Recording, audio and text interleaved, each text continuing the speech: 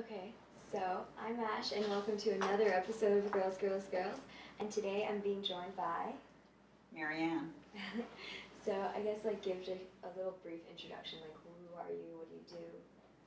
Sure, I'm Marianne Taggio, and uh, right now I have actually a number of roles.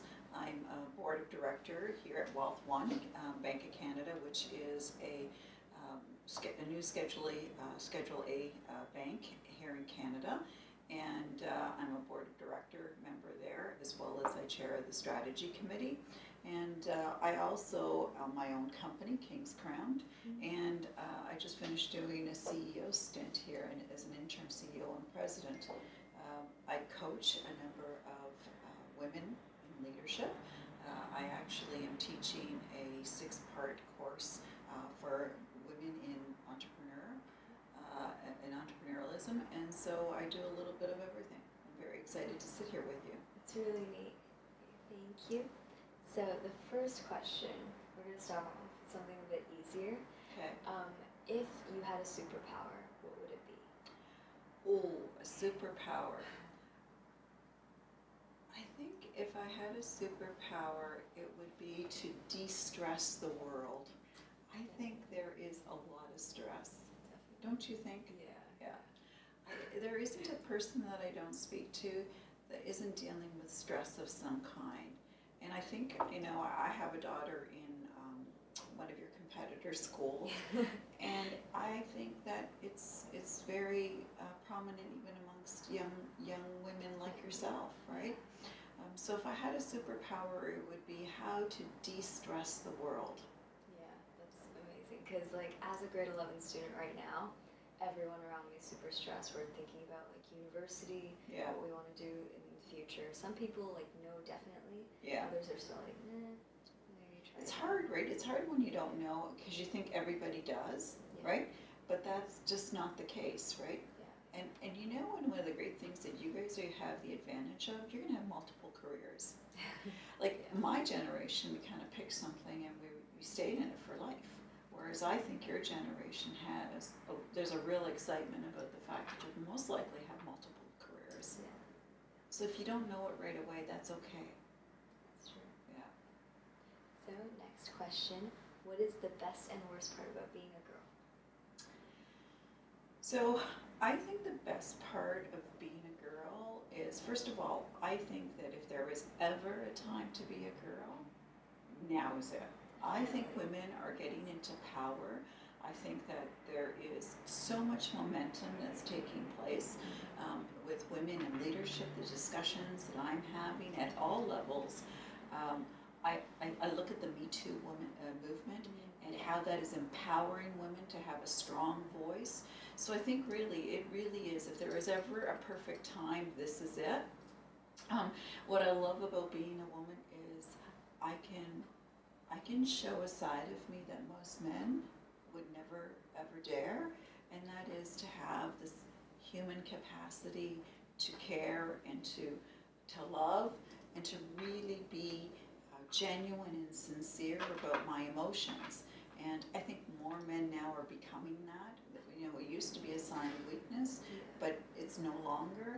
So that vulnerability that women can show, I think, is quite empowering. Um, so I think that that's the greatest thing about being a girl. I think one of the challenges that we have as, as girls and women is that we need to learn how to support one another.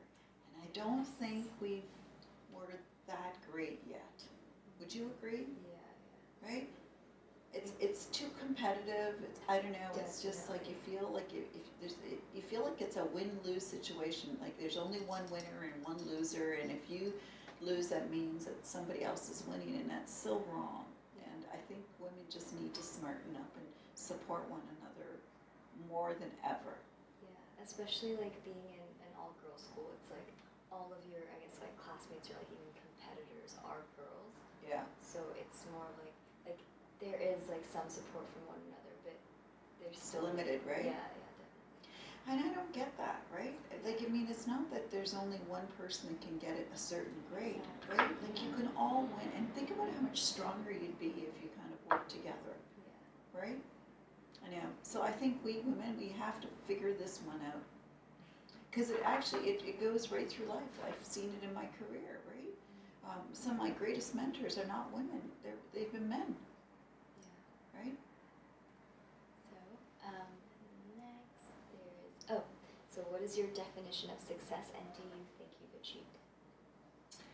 So you know it's interesting. I thought when I first came out um, out of school and I went into a career, I thought success was all about money and title and reaching a certain status and um, and what you learn as you gain those things as you work really hard and you get this title and you and, and you get the status and you feel you feel that you're doing your you know the work that you want to be doing what really success comes down to is a couple of things. It's surrounding yourself with people that you enjoy being with. So the ability to pick roles and jobs where I work with people that I enjoy. Um, the ability to do my best work. So, you know, I'm not perfect at or great at everything, but there is a few things that bring me a lot of passion and satisfaction. So to be able to do those things and do those really well, that brings me um, a lot, a sense of success. Um, I'd say that my family, right, having family uh, and understanding how to how to balance between having a family and, and having a career. I mean, those are things that I think women in particular struggle with. So that I think is success. And I also think financial independence, right? I mean, I think that, you know, that might not be something that a lot of people talk about, but when you're able to um, relax around money, I think uh, opens opens a sense of, of, of comfort and peace within you. So those are some of some of the things that I that I think of when I think of success. Yes, it's kind of like what my mom has taught me as Yeah. well because she's like, um, I don't want you to work hard, like work Yeah. for money, Yeah. but I want you to like enjoy the work that you do Yeah. and earn money Yes. while you do it. Yeah, yeah, it, it's really, it's so true, like when, when women ask me, you know, about careers, I always say, it's like, go follow something you really love to do, and then, and then, then find people that'll pay you to do it, right? Mhm. Yeah, Yeah, it's fantastic. yeah, good advice from your mom. yeah. So, um, who is your biggest inspiration, and if you did have multiple? Yeah, I'll tell you, um, so I'm, I'm very lucky because I am, I'm a big observer of people, and I tell you that some of my biggest inspirations are from everyday people. You know, people that um, defy the odds. You know, think I, I look at, um, you know, at King's Crown, we we hire um, a number of you know new people to our country, and uh, I look at how hard they work and, and the odds that they have beat to come here, what they've left behind, the comforts of what they know as being home, to come here and start a new life and not know the language and not know the culture and, and bring a family and have responsibility for family. Mean that that really inspires me. You know, um, a couple of weeks ago I was at church and one of our parishioners celebrated a hundred years. And so if I think about what he has seen in a hundred years, he's seen world wars, right? Two world wars. He's seen Vietnam. He's, he- he's just seen a lot. And yet he was one of the most grateful and compassionate men on, you know, talking about how privileged he was to have a life here. So those are the things that inspire me. Um, I think we have lots of inspiration all around us if we really look look for it, Yeah, right? yeah, that's super cool. Yeah. Yeah. So, um, if you could turn back time, is there something you would do differently? Yeah. I tell you, the one thing that I would do very differently, and I'm trying to, I'm trying to actually use this in my life going forward, and that is to worry a lot less. I've spent a lot of time, um, you know, even at your age when I was in high school, um, worrying about all the things that never happened, right? It never happened. But you know what? We're in a, I was in a constant state of worry. And you know, I'll, I'll tell you, worry is obviously um, a manifestation of fear because you're fearing something, right? And fear is the cheapest room in the house. And I remember reading a philosopher said that said fear is the cheapest room in the house. I want to see you do better. And so I think the regret is just wasting too many calories, too many hours worrying about stuff that just never happened. It's, it's pretty neat. I've actually never heard. Yeah. Yeah. Isn't that a great, isn't that great, Yeah. great, great advice? Yeah, it is. Great advice. Cheapest room in the house. I want to see you do better. Yeah. Yeah. So, um, what was your proudest achievement? You know, I've had, I've had so many, right? Um, I mean, I think, I think at my age, I'm 57, and I look back on my life at this point, and I, I say, like most probably people, is that my family has been my, my, my most proudest. Um, because you realize that that's really what we're all about. We're all about an extension of one another, and, and so in many ways, my family defines me. Um, I'd say professionally is being able to impact others in a positive way. Um, you know, I've worked with thousands of people. I mean, I, I was an, an SVP of a bank, of one of the big, in one of the big banks here in, in Canada. Um, a CEO of my mutual fund company. I was a chief strategy officer. I mean, I've been very privileged. I've been able to do a lot of lot of jobs and those are great. But the proudest is when someone says to me, I worked with you 15 years ago and you gave me great advice, or you provided me with an opportunity um, that made all the difference in the world. I think those are the things that I, I feel best about. Those are the achievements. It's not about me, a lot less about me and the impact that I had on people around me. I think um, that that's really amazing, and of course, like you're having an impact on me as well. Oh, yeah, that's so sweet. I, I like, like I love what you do. Like that's Yeah. super amazing how you like can influence so many people. And I guess like girls now, I feel like like definitely like our gender equality, that that kind of stuff is getting better. Yes. But we also need to be told that you can make a difference. and, Like you can like But- influence other people. But actually, think about what's happening in the U.S. Just like just today. So Oh, today, yeah, they are going to vote on whether Kavanaugh actually becomes Supreme Court judge, right? But the movement that's taking place down there from women who are getting up and they're protesting and they're making their voice heard. I mean, I just get goosebumps, right? So I think that's the excitement that you guys have ahead of you, right? There's like, there's nothing you can't do. Like, you really stand on the women uh, that have gone before you to do great things? And think about your even schooling. Like, I, I when I would- went to high school, the universities that I thought of were all in my neighborhood. Like, your, yours is the world, right? Yeah. So I do believe that you guys, I, I think this generation is a fabulous generation that can do absolutely anything, like truly do anything. We've been making like a lot of improvements. For sure, for sure. Was there ever a failure that you had that was actually a blessing in disguise? There's actually been a number, and it's interesting because I think we go into life thinking we know all the answers, right? So I had this career mapped out for myself, right? Um, you know, I, I I finished school and then I, I wanted, I started in banking and I loved, I, I happened to fall into it and I fell in love with it immediately. And then I basically took a path of what I wanted to do and every step and every year where I was going to be and what was my title going to be. And and life doesn't work in a straight in a straight path, right? It has a lot of zigs and zags. And I remember once I was um, we had just gone through a merger that I was part of, and we had to reapply for our jobs. And one of the things that I applied for was um, head of sales and marketing, and uh, and I didn't get it, and I was really quite upset because I felt very qualified for it. But what I got instead was a chief strategy position, where I became accountable for an 18-person board, and that role opened up a whole new world for me that I would never ever have imagined.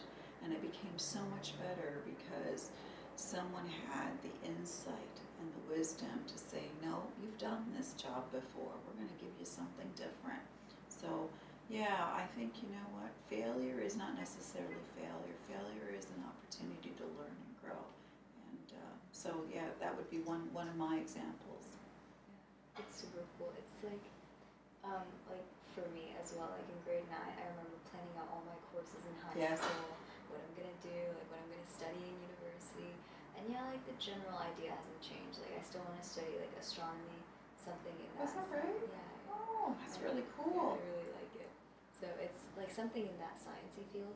But I've realized like I've not followed any of the courses I planned. And you're okay with that, Yeah, right? I'm really happy with it. That is so good. That is that is so important. Yeah, because along the way, I feel like you have to be adaptable as well. Like whatever life throws at you, you gotta be like, oh, well, kind of gotta maneuver. And it's a life skill, right? Uh, Like that whole adaptability and and grit. You gotta have a lot of grit, right? Do Yeah, you guys talk about My grit? school, oh my gosh, grit is like the only thing they talk about. And I'm telling you, it is so true, right? I mean, we didn't know that that's what it was called, right? Yeah. But but it's true. It's like you really have because it's it's your ability to keep moving forward, keep moving forward, having the tenacity, right? But then the agility to actually move with the way things are being shaped, right? Having an open mind. It's good. So, um, how do you approach a challenge? So I've learned a lot over the over the years. It's a originally I'd be this hyperactive person that had to solve everything in the moment, right? It was like, okay, this this crisis is happening and I'm going to solve it within the next 15 20 minutes. and so I'd go into this hyper stage of of thinking and problem solving. And now what I realize is that taking a step back um, and letting yourself sit and swim with it for a little bit is not a bad thing. And and these challenges they come your way for a certain reason. I don't always know the reason. I don't always like it, but I do know that with a still mind, I'm better at it, right? Um, the other thing that I've learned is I always thought that I needed to be the smartest person in the room to solve it. Part of it came with the titles that I had, right? And I learned that, you know what? Having other people help solve that problem with you is always a good thing. So bringing in people that have some has experience or expertise, or maybe just a sounding board. Um, so those are two ways that I've learned on how to take on a challenge. Yeah, that's super cool. Because um, at school, like we're always taught to like work together Yeah, and that kind of stuff, and there's always just this one kid off to the side, like trying to figure out everything. exactly. But yeah, I definitely feel like as a group, like that's like five minds instead of just one. And think about your backgrounds. You, we all have different backgrounds, different Yeah. experiences, and how you will approach that problem really is a lot of it is based on the past experiences that you've had. So when you have five different experiences coming towards a problem, what you'll end up doing is it's not any one person's idea, it's the collective idea. You keep building on each other's ideas and you come up with something that no one person would have ever come up with, right? Yeah. Yeah. So Good for you. So, um, oh, so what advice would you give to younger girls? You know, this is one of those questions I could probably spend a day, right? Because I, you know, you learn a lot from your own, your own um, experiences, right? And I think some of the stuff that we talked about is important to kind of sit on a little bit. Um, so one of the pieces of advice is to fear, fear a lot, and worry a lot less. Um, and I think girls are notorious for this. For whatever reason, it's part of our DNA, and I'd say it really is a lot of wasted energy, right? So that would be one big piece of advice. The second piece of advice that I would say is important is ask for help. And I thought some people think help is a sign of weakness, but it isn't. It's actually a sign of strength, right? Um, so being able to reach out to different people, different generations, right? Like, I, know that I'm in partnership with my daughter at work, and she's a millennial, and things that she is able to solve for us, um, I just wouldn't have had that capacity or that perspective. Um, so I think, you know, approaching people from different age groups is really, really important. So the hundred-year-old parishioner, I mean, having been able to sit with him for 15 minutes, I became a better person for that. So I think that I think you just have to keep looking for people that can enrich in your life. There's a great song called I Want You to Dance, I believe it is. And what it is is that whenever you're given an opportunity, embrace it. Don't overthink it, right? You might have that roadmap, but when that roadmap allows you to make a twist and a turn, take it, right? And yeah, those are few few of the my, my ideas as to the advice that I would that I would have. Um, and I, I'd say don't sweat it out too much, right? Do you sweat it out a lot? Uh, just a bit. Yeah. Really, yeah. Yeah. I I get super scared when it's like especially like a bit. Okay, I did my SAT in August, and you know how that is for high school students, like a super big thing. But the night before, my mom's just like, "Relax, sweetie. Like, don't do any more preparation. You've done so much. Like anything that's like done at this point, it's done. Exactly. Just take a deep breath. There's actually studies that will tell you that the kids that stay up until all hours of the morning, cra- you know, like basically cramming on, on a particular exam, mm-hmm. do a lot, a lot less effective work than the ones that get the full night's sleep, have a good meal, right? And, Yeah. and go in with an open mind, right? And a relaxed mind, Yeah. right? And also uh, to touch on what you said about the um, the preparation. Yes. It's like I feel like girls a lot of the time, like even answering questions in class, like not a big deal, but it's like we always think we have to be one hundred percent correct. Like we- Oh my it's so God. thought out, and then we'll raise our hand. But a lot of the time we don't, and we miss many opportunities.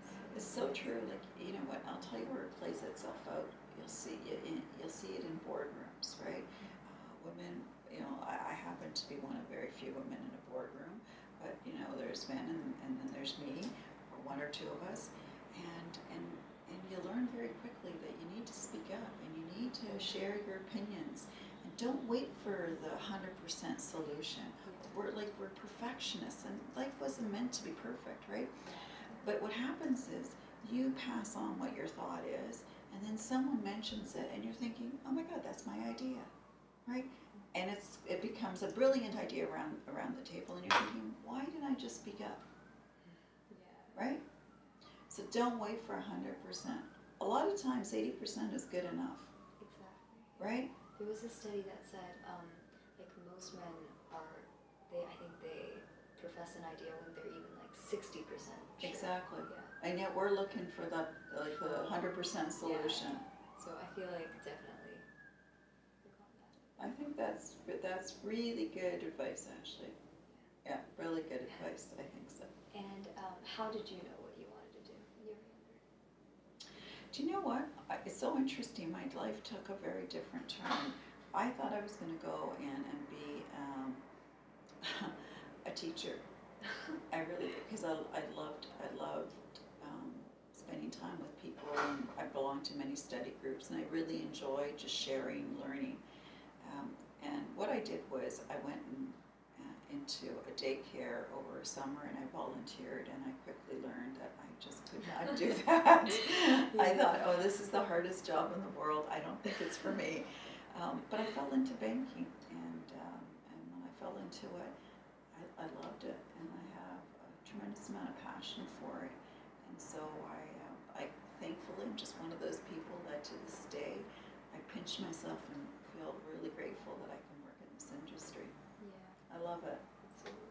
Yeah. When I was younger, like around three-ish, five, I wanted to be an astronaut because I Oh. like loved like I've loved space ever since like a child. Because um, I would like my grandma would read me these like little encyclopedias of like just like blurbs about our solar system that kind of stuff. And I was was like, oh my gosh, there's floating like circular things in, like in the sky. That's so cool. But like later, um, I learned that like a I'm a bit too short to be an astronaut. I can't safely go up there without my spine like collapsing. But um, also, it's like it's not really for me because it does require a lot of like physical, you know, that kind of stuff. And I like my plan now is like even if I can't go up to space, I can still help people go up to space. You know, like be one of those um, mission control like. Unbelievable. You have to, I, TIFF has just finished here in Toronto, as you um, may know, in September. And um, one of the movies that was, that was, that premiered here in Toronto is the Neil Armstrong story. You have to watch the movie. It's with Ryan Gosling. And, and what was really cool at TIFF was the two, the two sons of Neil Armstrong came to the event and they talked about, oh. yeah, they talked about what it was like to be part of a family where their dad was one of the very first to, to, to be on the moon. Yeah, so you got you had to watch that movie. It was so inspiring. I'll check it. out. Yeah, yeah. Hidden Figures was amazing too. Oh my God, another great movie. Yeah, yeah, I love that. yeah. So that's all from me. Is there anything else you want to share? I just think it's so cool what you're doing, and I think that um, I'm, I, I think your guys are really privileged. I really do, and I, I would just take up every opportunity. And you know what? Don't worry if you fall and scrape your knees. That's what life is all about. You just get back up and, and have grit. Yeah. okay. Thank you so much for You're being welcome. Thank you. a pleasure knowing Thank you. you. Thank you. All right.